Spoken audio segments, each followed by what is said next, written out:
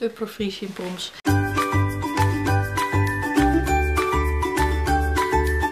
Hartelijk welkom bij Frisian Proms 2017.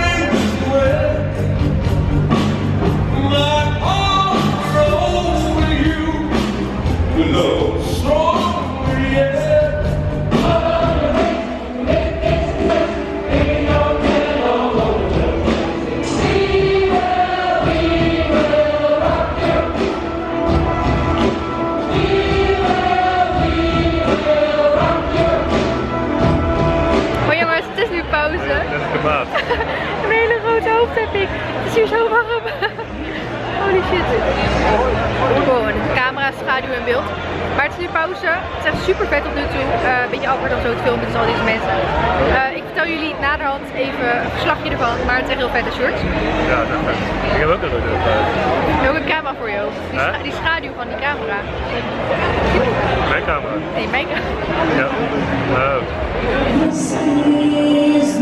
me.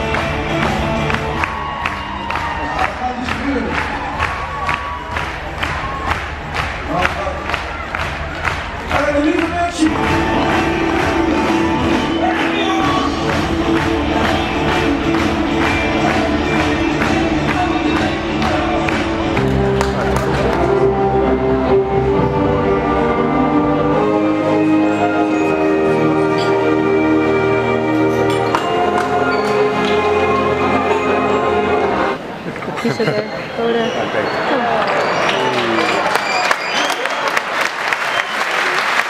Helemaal, het is onderhand half twaalf, nee, tien voor twaalf en we zijn terug.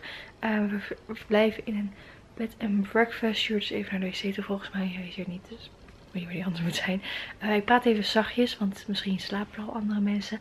Ook al eigenlijk bijna iedereen die op dit moment in een hotel of een B&B zit in Leeuwarden. Die gaat naar Frisian Proms toe.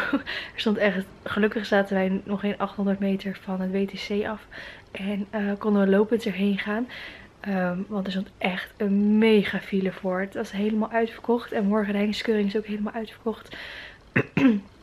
dus we hadden best wel geluk mee. Ook al hebben we dit echt pas een paar dagen geleden geboekt. Dus we waren heel erg blij dat er nog een kamer over was. Ook is het een drie persoons. Oké, ik film even op deze manier verder. Want mijn vlogcamera, eh, de batterij was leeg. En ik had normaal gesproken altijd twee batterijen. Maar ik ben er eentje kwijt. Dus ik doe het even met mijn spiegelreflex. Heb even op de rand van het bed gezet.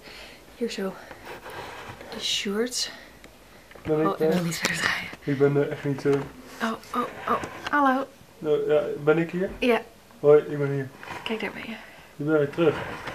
Ja, hij was terug van de wc. Oh. Ik bedoel echt op een stage. maar- Oh, dat ook. Hij is Oh, ook je terug van stage. met een wc ging. Ja, maar... Ja, ik gezegd in je wc. Ehm en hij is terug van stage, maar daar komt nog een andere video over. Ehm, wat ik was aan het vertellen. Ik was je aan het vertellen. Oh, ja, Oh. dat er echt een messenfile stond en dat we lopend gingen. Mhm. En nou, dat is wel chill eigenlijk. En ehm, ik vond het echt super vet. Ik had er niet zo. ik had er niet echt een beeld bij met wat het precies was. Totdat eh, ik had gevraagd of Sjoerd meeging. En hij vroeg wat het was. En ik dan wel echt moest op gaan zoeken wat het was. En toen had ik filmpjes van vorig jaar gevonden. En ehm, ik wist wel dat het een soort show was. Maar ik wist niet dat het zo uitgebreid was. En echt ziek veel muziek. En sowieso Eugene en Sander de Bissonnier. Ik weet niet hoe je dit spreekt. En nog meer allemaal artiesten die kwamen er. En het was ook wel echt gericht op de muziek. En dat was heel vet. Het was ook gewoon allemaal echt hele goede muziek. En ehm, dan die paarden allemaal coole shows geven. En zelfs Sjoerd die niet... Ja, hij vindt paarden wel oké omdat mijn hobby is. Maar niet fantastisch of zo. Die vond het zelfs ook gewoon echt heel erg tof. En het grappige was dat ehm, ik eigenlijk een perskaartje had gekregen vanuit het uh, Friese paardenstamboek. Ehm, alleen toen had ik gezegd dat Sjoerd bij mij meeging. Dus of ik twee kaartjes kon krijgen. En toen hadden ze ja gezegd. Alleen ze hadden maar één kaartje naar me toegestuurd. Dus toen, daar kwam ik pas vanmiddag achter. Dus toen moest ik gaan zeggen van, eh, jongens, er is het tweede kaartje. En toen zeiden ze toch van, ja, het kan zijn dat er, eigenlijk altijd dat er mensen niet opkomen dagen of iets of zo. Dus dan moet je even kijken of er plek is. En anders kunnen we kijken of er iets voor, eh, bij de VIP, dus bij de VIP voor je is. En toen echt nog geen vijf minuten later kreeg ik zo'n telefoontje dat er dus plek bij de VIP voor ons was. Dus we zaten op echt op een vet goede plek, één naar bovenste rij. Ik kon echt alles vet goed zien. Dus dat hebben we wel kunnen zien aan de beelden. Het grappige was dat we aan een tafel kwamen zitten waar dus al twee mensen zaten, een man en een vrouw. En eh, toen kwamen dus een praatje maken, even voorstellen en zo. En die man, die bleek dus de directeur van NOC-NSF te zijn.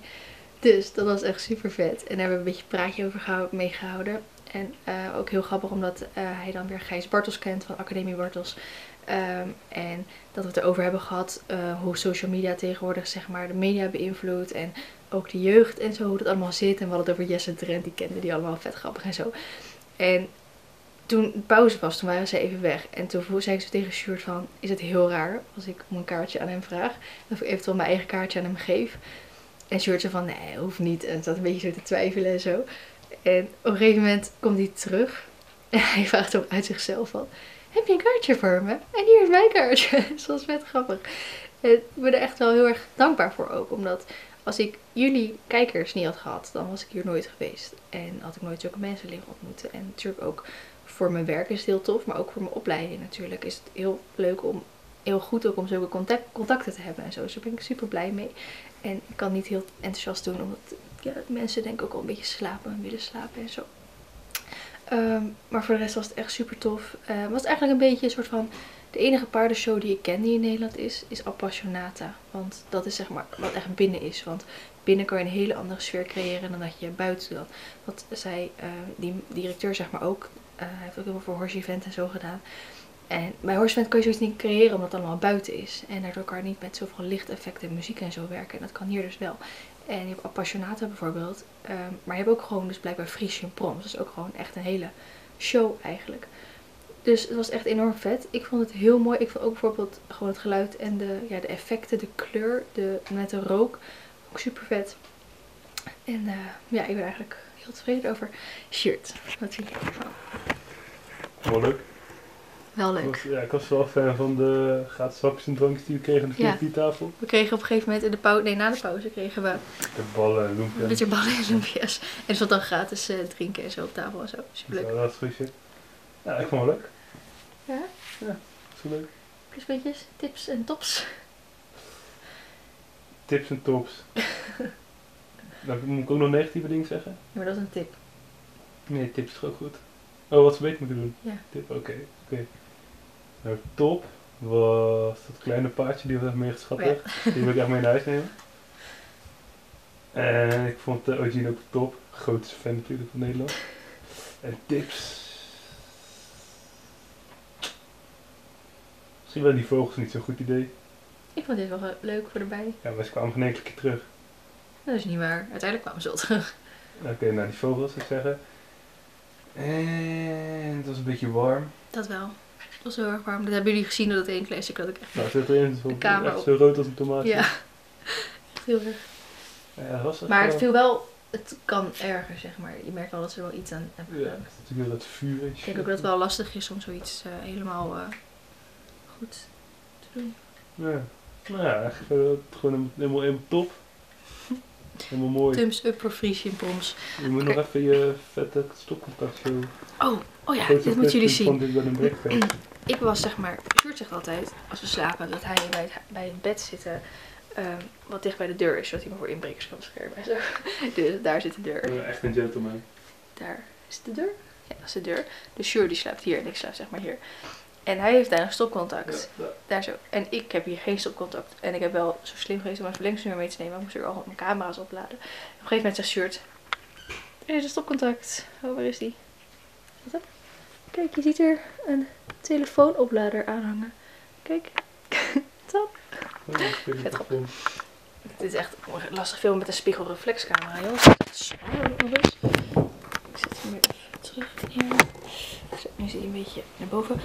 Maar oké, ehm, ik hoop dat jullie de video hartstikke leuk vonden. Ehm, het is natuurlijk eigenlijk niet echt vloggen of iets. Het is gewoon eigenlijk een beetje laten zien hoe de show was. Ehm, als de show in zijn geheel en de samenvatting op YouTube staan, die zal ik dan even linken. Zo niet, dan eh, niet. Denk er zeker over na als je het leuk vond om volgend jaar te komen. Het is gewoon echt een hele leuke show, hele leuke sfeer. En echt eh, alle disciplines, zeg maar. Echt dat eh, ja, rijden, lange lijnen, voltige, achter de kar. ehm, Oh nee, springen. Wat zei je? Oh nee, geen springen. Nee, geen springen dan. Nou ja, met die ene show van die man met die losloop, losrennende paarden ging hij wel over zijn eigen paard heen springen. En die hondspoel. En die hond sprong. dus eh, dat was natuurlijk heel erg leuk. En ehm, ja, dan wil ik jullie bedanken voor het kijken naar deze video. Volgende video gaat over de hengstkeuring. En dan ehm, ja, hoop ik de mensen te spreken die ik toen bij het examen ook heb gesproken. Van de Friese toen, een tijdje terug. En tot de volgende keer. Doei doeg. Zullen we even kiezen? Oh, ik draai niet verder. Oh, oh, zeg doei. Doei. doei doei. Doedels. Zeg, wat zeggen we dan? Ciao. Nee. Oh, bedankt voor het kijken. En? Vergeet duimpje omhoog niet. En? En laat een reactie erachter over... ehm waarover? Hoe je het vond of zo. Ja, hoe je het vond. En? Nog één ding. Abonneren. Oh ja, vergeet ook vooral niet te abonneren. Hoi. En op Instagram, Molly en wat is je Snapchat? Vlienooi. Oh, Feline Hoi Snapchat. Wat nog meer? Alles, Facebook. Facebook, alles. Doe alles maar gewoon. Thanks.